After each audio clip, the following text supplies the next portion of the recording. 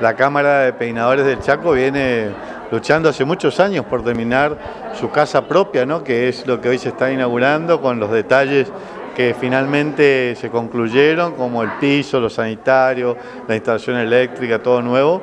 Es un esfuerzo ya de casi 10 años que vienen trabajando ellos em, para poder completar y cómo lo hicieron con el programa Esfuerzo Compartido. Y eso es lo que más nos reconforta.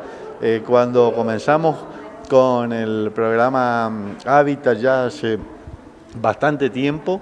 Eh, empezamos acompañando a nuestras instituciones como la Cámara de Peinadores del Chaco, que estaba empezando a terminar este edificio. Estamos hablando de ocho años atrás y finalmente después de ocho años de incansable esfuerzo para poder ir comprando bolsita de cemento por bolsita de cemento, cable por cable, eh, lámpara por lámpara, pudieron terminar su edificio. Esta es una demostración real de que vale la pena construir la cultura del esfuerzo, cambiar el paradigma de pedir todas las soluciones mágicas al Estado y sentarnos a esperar. Estas mujeres y hombres que integran la Cámara de Peinadores y Peluqueros del Chaco nos demuestran que con esfuerzo, con compromiso, con sacrificio, con constancia, al cabo del tiempo, casi 10 años le llevó hacer su local, hacer su casa propia, poder capacitar acá a los peinadores, realmente llevar adelante una gran tarea para poder lograr que la Cámara de Peinadores tenga este hermoso local. Así que vale la pena el esfuerzo compartido y es algo que nosotros queremos instalar eh, para que podamos revalorizar la cultura del esfuerzo,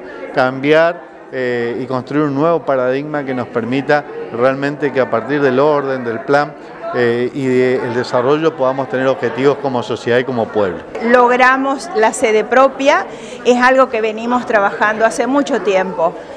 Nosotros, la Cámara de Peinadores tiene la fundación en los libros en el año 64 eh, con la señora Blanca Pucheta y un grupo de personas que acompañaron su comisión.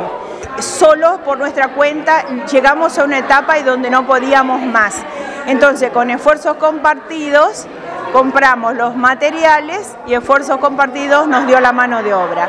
La mano de obra de la electricidad, la puesta de pisos en el salón y la pintura. Eh, un equipo maravilloso de gente súper responsable que nos dio una mano muy grande, que representó para nosotros un montón de dinero que pudimos, decirlo de alguna manera, zafar de conseguirlos que nos hubiera llevado más tiempo. Este es el mejor lugar para capacitarse como peluquero. Damos cursos básicos de peluquería, perfeccionamiento en todas las áreas, preparamos para competencia, vamos a competir y es la única cámara en la provincia del Chaco afiliada a FAPIA, Federación Argentina de Peinadores y Afines, un lugar y un espacio donde defendemos la profesión y el peluquero.